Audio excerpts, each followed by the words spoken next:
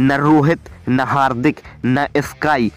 Afghanistan series के लिए एक नए कप्तान की तस्वीर सामने आई। जी हाँ भारत और साउथ अफ्रीका के बीच जैसे ही टेस्ट सीरीज़ खत्म हो गई और अफ़गानिस्तान के खिलाफ 11 जनवरी से तीन टी मैचों की सीरीज़ शुरू होनी। है लेकिन सबसे बड़ी दिक्कत यह है कि रोहित शर्मा भारत के लिए कप्तानी कर नहीं रहे क्योंकि वो टी मुकाबले से दूरी बना चुके हैं। तो वहीं उनकी गैर मौजूदगी में भारत के लिए फुल टाइम अभी टी ट्वेंटी में कप्तानी करने वाले हार्दिक पांड्या अभी पूरी तरह से फिट नहीं है। वो भी चोट से जूझ रहे और उनके बाद जो स्काई को हाल ही में टी ट्वेंटी का कप्तान बनाया गया था, वो भी चोट के चलते टीम से बाहर चल रहा है।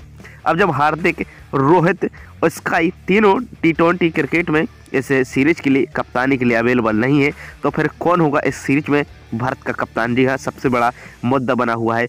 तो मैं अपने दोस्तों को बता देना चाहता हूँ कि इस टी ट्वेंटी सीरीज़ में अगर ऋषभ पंत फिट हो जाते हैं तो वो इस सीरीज़ में कप्तानी करने वाले हैं। वो कप्तानी करते हुए नज़र आएँगे इस दौर में, लेकिन अगर ऋषभ पंत भी अवेलेबल नहीं रहते तो आपको हैरान होने वाली बात नहीं, सुमन गिल इस सीरीज़ के कप्तान होंगे।